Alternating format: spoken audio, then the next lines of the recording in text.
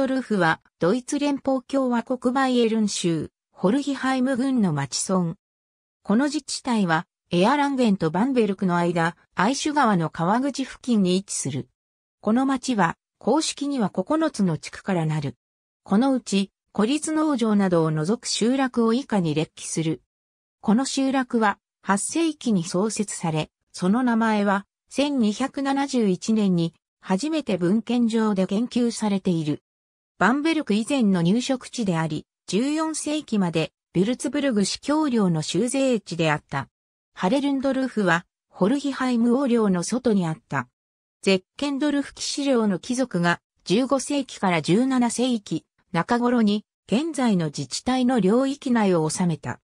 1463年にシェッケンドルフの領主の発願により、法園堂で3にクロイツベルク教会の巡礼礼拝堂が建設された。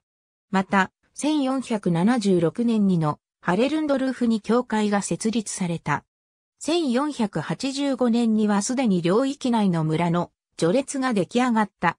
14世紀後半にハレルンドルフに水木が作られたが、1525年に消失した。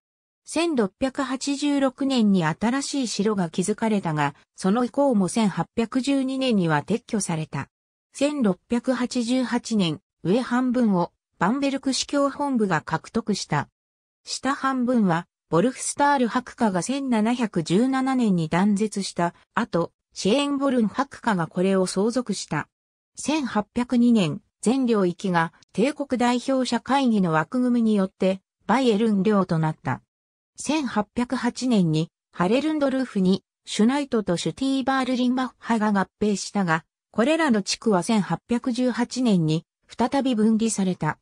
この後、ハレルンドルーフはクロイツベルクと共に独立した自治体となった。